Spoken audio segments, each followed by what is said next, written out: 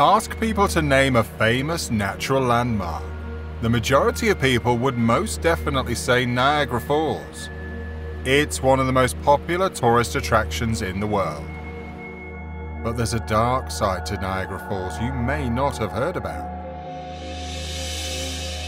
Years ago, engineers drained the falls, discovering a horrifying secret hidden beneath the water for decades. A secret that left more questions than answers. What exactly did they discover? Why did they decide to drain Niagara Falls in the first place?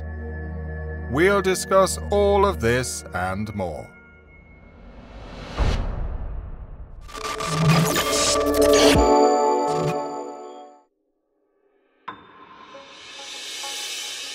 What makes Niagara Falls so special?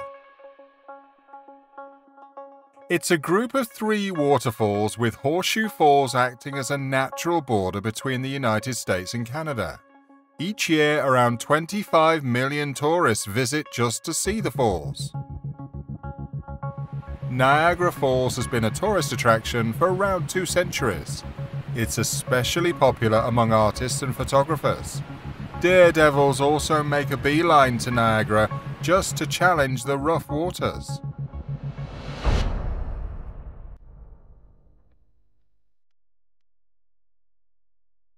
There's a fascinating history behind Niagara Falls. If you travelled back as far as 18,000 years ago, there would be no Niagara Falls. It was formed after giant glaciers melted away to form the waters. It did not immediately become the falls we see today. Instead, it took years for the water to erode the cliffs before they became the present day waterfalls. While people love the falls now, there is no record of when it first became a landmark. There have been writings of it for hundreds of years. An early written record of the falls comes from a French explorer named Samuel de Champlain. Even though he went in the 17th century, Samuel was not the first person there. That honor goes to Father Louis Hennepin, another one who went exploring the region. Father Louis came back from his exploration and five years later wrote an article titled A New Discovery.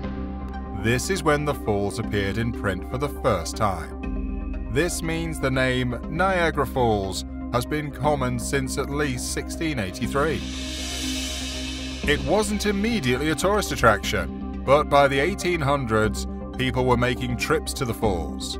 People with a business mind saw the potential and invested in hotels and restaurants, making it a popular destination for newlywed couples.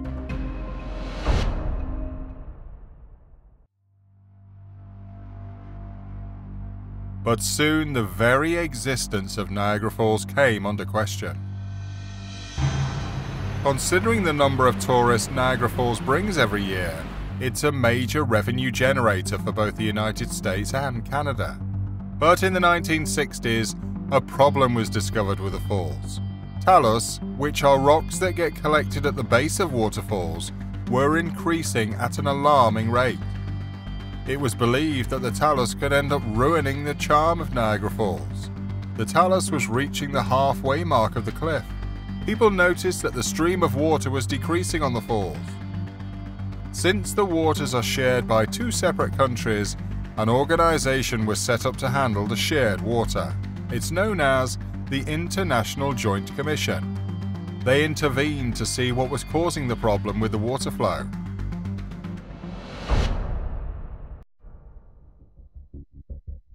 Eventually, a solution was found.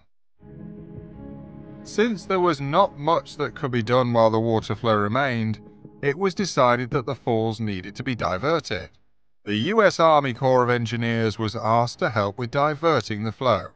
To do so, they built what is known as a cofferdam. A cofferdam is a structure built within a body of water such as a waterfall. It helps pump the water out of this area. This way work can take place below the waterline without any interference.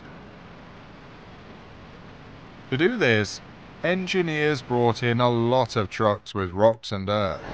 They needed about 27,000 tons of rocks and earth to create the cofferdam. The length of this dam was around 600 feet, and many even doubted if it was possible to complete. But the engineers had no doubts and were successful in stopping the water flow towards the American Falls. Of course, they couldn't stop the water from flowing. Instead, they rerouted the water towards the Horseshoe Falls so that they could work on the talus. There were concerns that such a diversion could cause a flood in the nearby lands. Locals were concerned that diverting the natural path could have disastrous consequences. There were also worries that tourism could take a hit while this restoration process was going on. Some believed the lack of water would bring in fewer tourists. Others felt such a strange and uncommon construction would actually create more interest. Unfortunately, tourism did suffer.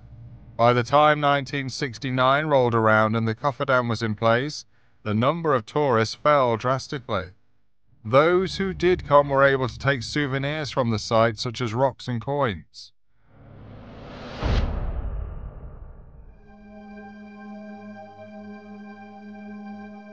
This is where they made the discovery.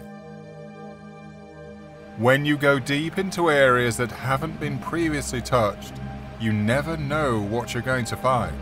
If it's water, you'd probably expect to find a whole bunch of miscellaneous objects.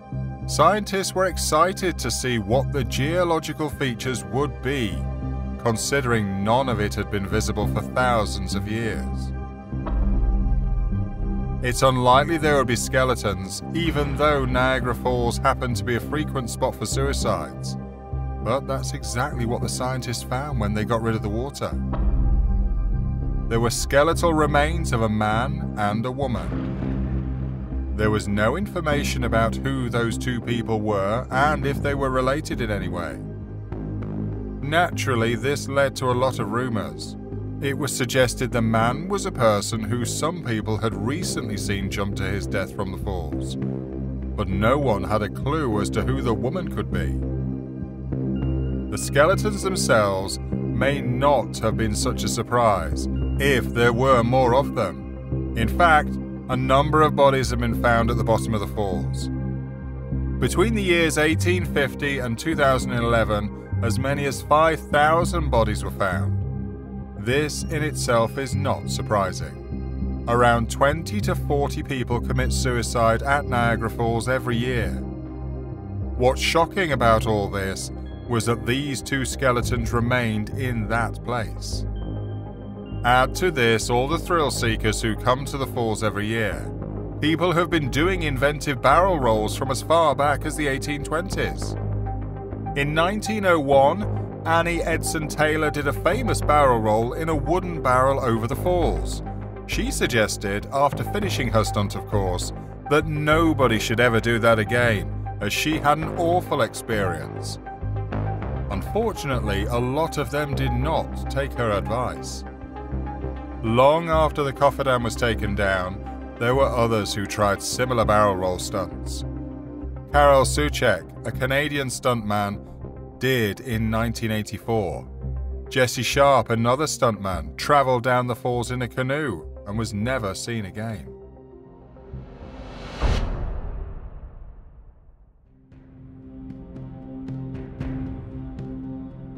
It turned out the Niagara Falls were drained for nothing.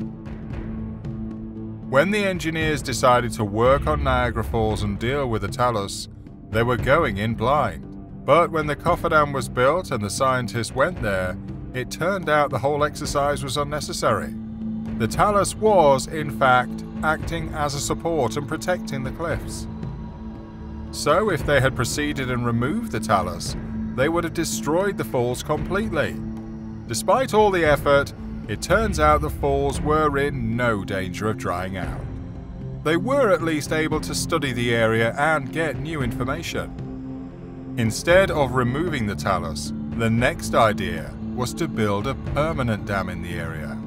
But that would have ended up just weakening the American Falls. In the end, they decided to leave the area as it originally was. Before they removed the cofferdam and restored the place, the engineers worked on stabilizing the falls. They used anchors and cables to jazz up the place and not interfere with the flow. The International Joint Commission even said at the time that man should not interfere with a natural process.